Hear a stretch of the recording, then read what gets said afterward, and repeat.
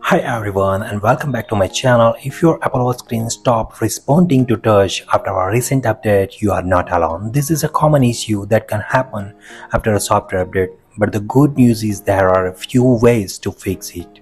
In this video, I'll show you how to fix some simple steps to try and get your touch screen working again on your Apple Watch. So solution 1 is force restart your Apple Watch. The first thing is to try is force restart. So Press and hold the side button and digital crown at the same time. Once again, press and hold the side button and the digital crown at the same time and keep holding them for about 10 seconds until you see the Apple logo on your watch screen. This can clear minor software glitch that may be causing the screen to freeze.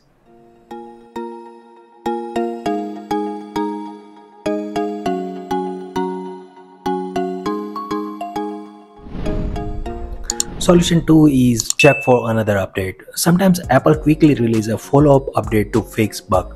So open the watch app on your iPhone and go to general. Same way then click on software update and if an update is available install it. This might fix the touch issues.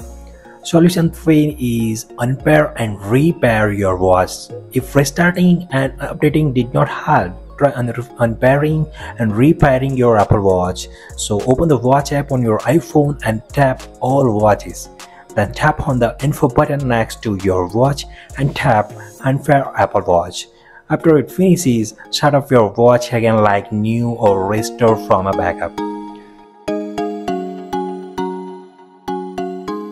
Solution 4 is check for screen damage. If the screen still does not respond, carefully check if there is any physical damage, cracks, or water exposure.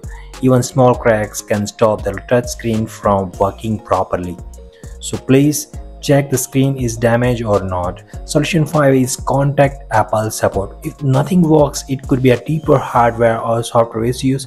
In that case, your best option is to contact Apple support or visit an Apple store if your watch is under warranty and they may repair or replace it.